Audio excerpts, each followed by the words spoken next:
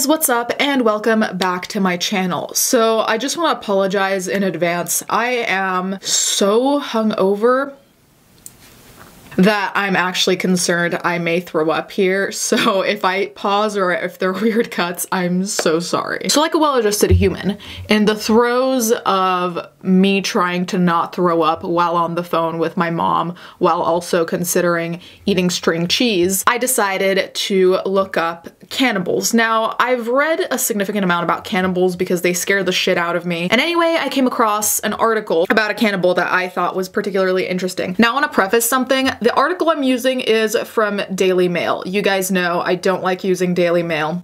But the reason that I will be reading from this article is because they are quoting a doctor who analyzed this cannibal, and the information, after I fact checked, lines up with everything else I've read, so it's not incorrect, plus it has the extra take, so hopefully you can forgive me. Crossbow cannibal Stephen Griffiths turned into a violent serial killer after a woman's rejection damaged his fragile ego and made him turn his back on relationship, claims psychologist. When I first read that headline, I tend to be a little bit I don't like to necessarily believe headlines like that because there's so many times where I've read headlines that are akin to this one and it's bullshit or it's a reach or it's just one aspect and granted a headline can't give you the whole story or else the headline would be a novel but nonetheless I didn't really want to immediately believe that this guy essentially was rejected and turns into a killer. But in this case it's actually accurate in my opinion. Of course there are other aspects that we will discuss. Serial killer Stephen Griffiths could have lived a relatively normal life but instead turned his back on relationships with people after a rejection from a woman damaged his fragile ego go. I'm waiting for the comments from men saying that women are whores and I have a couple people who always comment MGTOW and it's just kind of like you realize you're watching a channel with like a bi woman talking to you so I'm not gonna walk the other way from women. Save yourself the comment. Triple murderer and criminology student Stephen Griffiths took the lives of three sex workers in the city of Bradford, West Yorkshire between 2009 and 2010 after a long-standing obsession with serial killers and violence. His case is examined examined in a TV documentary, Making a Monster, and criminal psychologist Dr. Eric Cullen claimed he would have established normal relationships but isolated himself when he was left by a girlfriend in 1998. Long-standing obsession with serial killers. I'm sorry that that made me think immediately of Tumblr, but that is why the Tumblr people who idolize serial killers scare me because I feel like they're going to end up doing some shit like the serial killers, Dr. Eric Cullen, my Twilight heart is living. While he had already voiced desire to kill, Cullen alleges it was when his girlfriend, who had been horrified upon discovering his flat was full of violent memorabilia and covered in sheets of plastic, that Griffiths turned his back on normal life. At the time of his arrest in 2010, Griffiths told detectives he cooked flesh from the two women and ate the third one raw landing him the name Crossbow Cannibal. I just don't know why he'd be surprised that bringing a girlfriend home and her seeing that you have all this creepy ass shit lying around wouldn't make anyone look twice. And the thing is, there's a very stark difference between going to someone's place and you see that they have a lot of books about serial killers and stuff like that. To me, that would just be like, okay, this person's interested in true crime. There's also a different side to that where if you are already a certain type of way and have your own particular vibe. And then someone comes home with you and then there's memorabilia. Your apartment looks creepy and it looks like more of an obsession than an interest. How are you surprised that someone would be like, what the fuck? Cullen claimed he's trying, it seems to me, to establish a relatively normal life. He's trying to establish normal relationships with women. He's failing because the early signs of mental obsession are showing and as soon as these women see this, the relationship falls apart. And the thing is, initially initially I kind of felt bad because I was like, okay, well, maybe he's being judged for an interest and people are taking it the wrong way, right? The same way that my family, some of them, judge me for my own interest in outing pedophiles because they think it's a weird fixation. I thought people were being judgmental with him, but at the same time, it's different for someone, for example, to judge you for your mental health, like if you're depressed or anxious and for people to look at you a certain type of way because of that. That's a different thing than you showing dangerous tendencies and people wanting to get away from you because you're showing dangerous tendencies.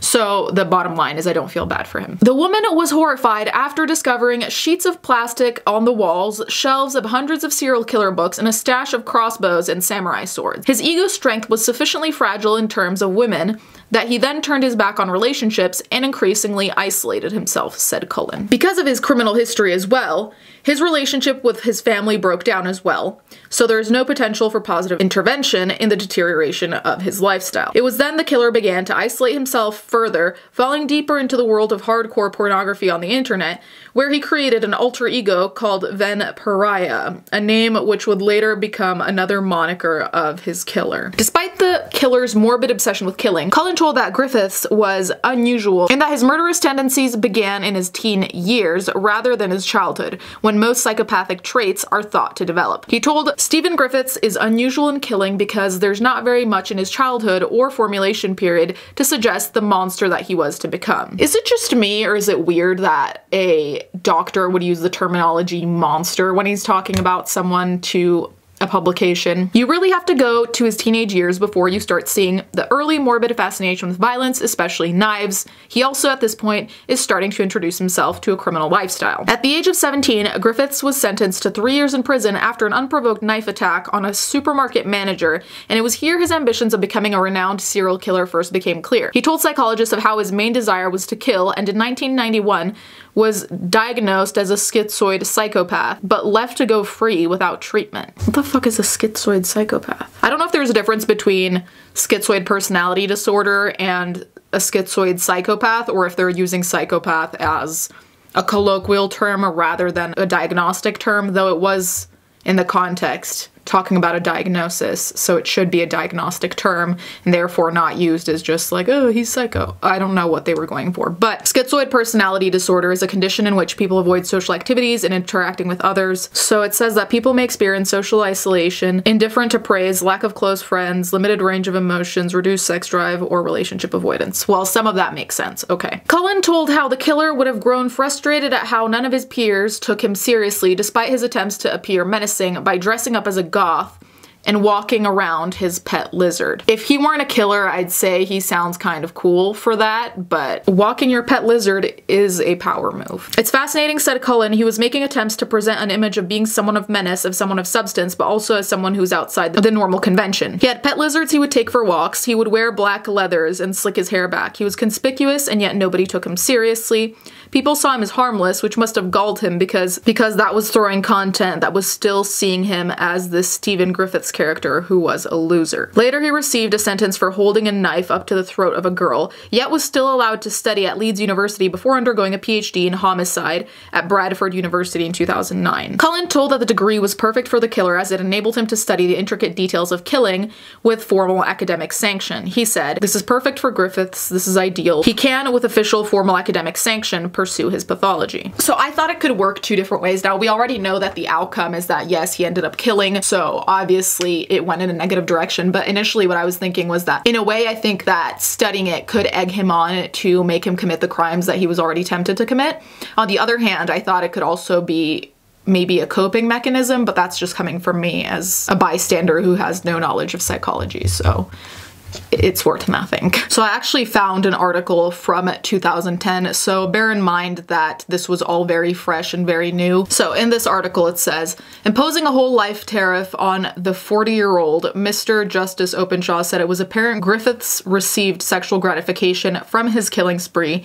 It is one thing to terrorize and kill a victim, but to terrorize, kill, dismember, and then eat parts of a victim is to take the exercise of power to another level, the judge said, adding that Griffiths had shown no remorse or any compassion for the families of those he killed. Griffiths, who had never held down a full-time job despite an extensive education, suffered from a complex and untreatable personality disorder, it was claimed. It was not that he could not ignore the urge to kill, instead he chose to do so, the court heard. This part confused me. Psychiatrists agreed that he was not mentally ill, but preoccupied with murder, particularly multiple murder, and obsessed with the Yorkshire Ripper Peter Sutcliffe, whose reign of terror 30 years earlier continues to cast a shadow over Griffith's adopted city. So I'm confused what they mean with mentally ill because we do know that he had schizoid personality disorder, so that's a disorder, that's a mental disorder. And also when they say untreatable, I assume they mean there's no cure, like with a lot of mental health issues, there's no like cure, you just need to manage it, so I'm kind of confused. His morbid interests included Satanism, terrorism, and knives,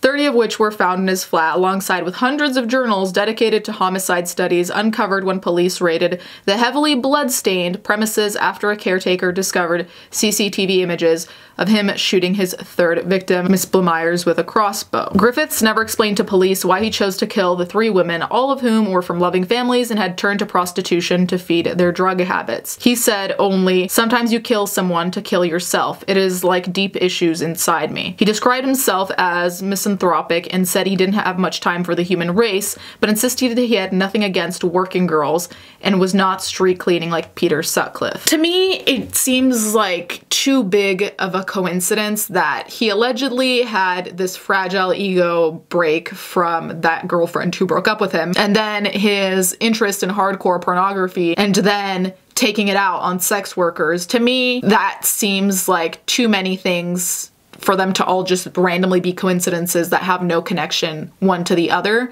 So as much as he said he has nothing against working girls, he might not have anything against prostitutes as much as a group that is already at risk and that he might have thought was easier to get away with because we've seen serial killers do this time and time again. When he told officers he had eaten the thighs of one victim and cooked body parts of another, he said, that's part of the magic. During interviews, he claimed he did not know how many people he had murdered, but he had killed loads. Psychiatrists who examined Griffiths found him to be highly intelligent. He had been receiving psychiatric help since he was 17, including a spell in the high security Rampton Hospital. In 1987, he received a three year prison sentence. We already knew that. So his first victim was Miss Rushworth, 43, and she had been trying to get off heroin and mending her relationship with her children. His second was Miss Armitage. She had been taking drugs since she was 16. Miss Blamires, described by her mother as bright and articulate, had only been missing a few days in May. It's unclear whether all of them were sex workers or not, even though the article kind of implies that. And aside from that,